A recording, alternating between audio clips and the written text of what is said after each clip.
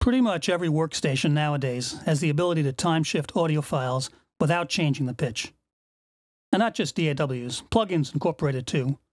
Virtual instrument samplers make use of the feature to tweak and sometimes mangle audio.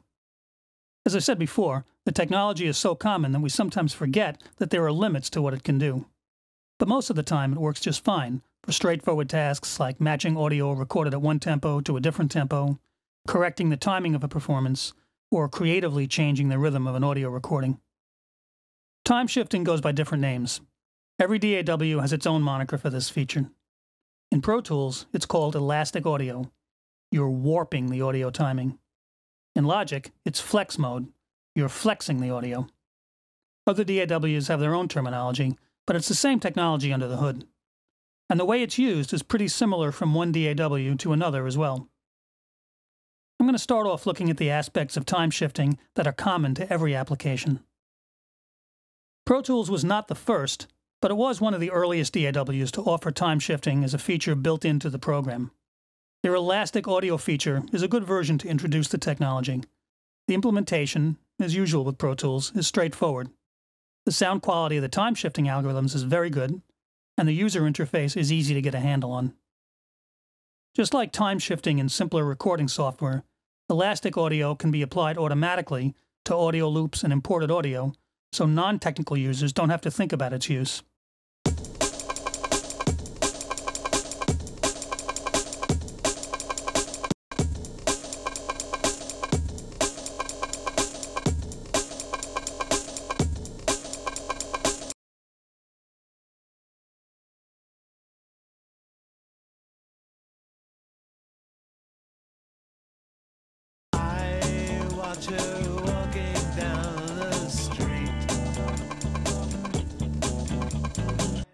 We don't really need a course on how to switch on a button.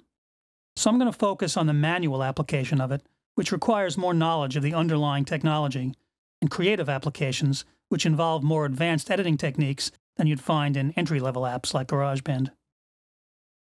So, to introduce the concepts and terminology, let's start off with a few basic applications for time shifting and see how the technology can be put to use. The song you're looking at is already in sync with the session tempo, so I'm first going to try a very basic time shift. The audio is recorded at 124 BPM.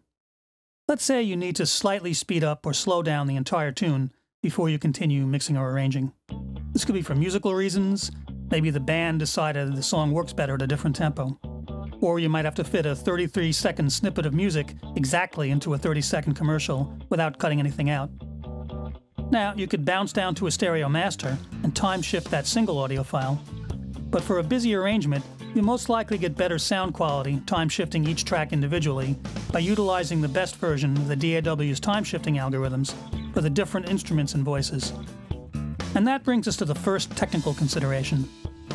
Time shifting features usually have more than one algorithm or formula for analyzing and processing different types of audio files. In fact, they're very similar from DAW to DAW, using similar names, although there are variations that can be confusing.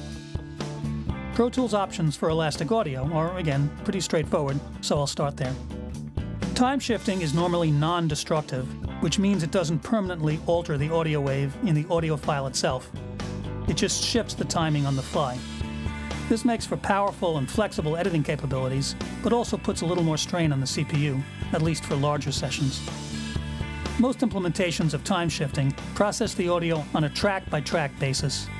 It's enabled for an entire track and all regions on that track will be subject to the effect. But it can be applied as a permanent edit, changing or creating a new processed audio file. In that case, it could be applied to independent regions, but you lose the ability to tweak and fine tune the timing on the fly as you work on the session. Pro Tools does let you apply one of the simpler Elastic Audio algorithms on a clip by clip basis. And Logic lets you turn off its flex processing on a region by region basis, so there is some leeway there but most of the time you're working at the track level. Now, if I want the best sound quality when I time shift this song, I'll need to enable Elastic Audio for each track and choose the best algorithm for each instrument or voice. In fact, that's how you enable Elastic Audio, by choosing the algorithm. In the header for each track, there's a pop-up menu of the available choices.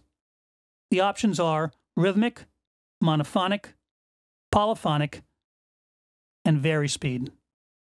These same options, more or less, are found in pretty much every DAW's time-shifting implementation. The Xform option here is for non-real-time processing, rendering a new processed audio file, like I mentioned earlier. Even though the real power and flexibility of time-shifting features like Elastic Audio comes from real-time processing, the rendering option is for situations where maybe a good enough sound quality effect can't be achieved in real time, and by letting the software have more time to crunch the numbers, a better sounding result can sometimes be had. I'm just going to focus on the real-time applications here. Now, the first thing any time-shifting algorithm does when you enable it on a track, in any DAW, is to analyze the audio wave, finding each individual note and slicing up the wave internally into many small sections, one note or syllable per section. The wave and its region are left intact, but the data that identifies each new note is embedded into the original audio file. This lets the audio file be played back note by note as if it were a bunch of separate regions. This is how the tempo can be increased or decreased without the pitch changing. For example, to slow down a drum part, Elastic Audio would play back the drum notes with a little more space in between them. The audio that makes up each note can be unchanged, preserving the original pitch and natural tone, but the performance is slowed down. To increase tempo, each note is shortened slightly and they're played more quickly. It's something you could do by yourself, by hand, if you had infinite time and patience, but being able to do it at the push of a button is what makes it practical. Next up, I'll continue with Elastic Audio by applying processing to the various tracks in this test song, and I'll cover the various algorithms and applications.